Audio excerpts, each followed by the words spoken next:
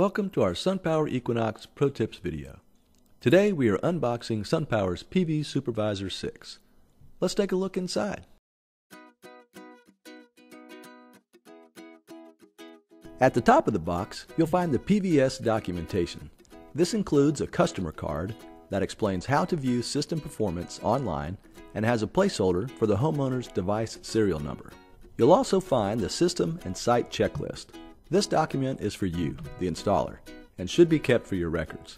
Adhere the device serial number sticker and complete the checklist under each section. The back of the document even has space for a drawing of the AC module array layout. Next is the PVS6 installation instructions and quick start guide. Follow all installation instructions and review the diagrams carefully when wiring the PVS6 for power and installing the two consumption CTs. Please note that the consumption CTs are included in your Equinox kit, but ship separately from the PVS6. Let's continue. The PVS6 occupies the central compartment inside the box. In the slot at the top of the box, you'll find a clear plastic packet that contains two Phillips head mounting screws and two rubber hole covers. The screws secure the PVS6 to its mounting bracket and the hole covers seal the conduit holes at the base of the PVS6 if they're not used. In this same slot, you'll find a 2 foot long Cat5 Ethernet cable to assist you in commissioning the PVS6 after installation.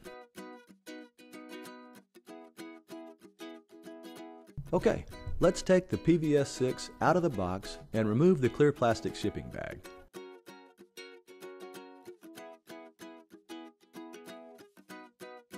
Taped to the front cover are the serial number stickers for the device.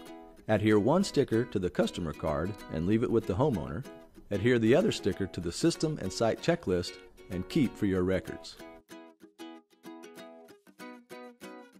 The front cover of the PVS6 features screwless snap-on snap-off access.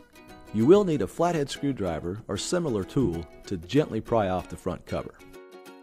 The mounting bracket has been redesigned for the PVS6, however, the mounting holes in the bracket are the same as for the PVS5. Remember that mounting bracket hardware is not included with the PVS6, and the hardware used must support a minimum of 15 pounds. The PVS6 is designed for faster and easier installation, requiring fewer tools and having a smaller total footprint. It includes enhanced Wi-Fi and cellular capabilities for improved speed and stability. And there you have it folks, the SunPower PV Supervisor 6. Thanks for watching this video. To learn more, check out the video description below for links to helpful resources and other training videos.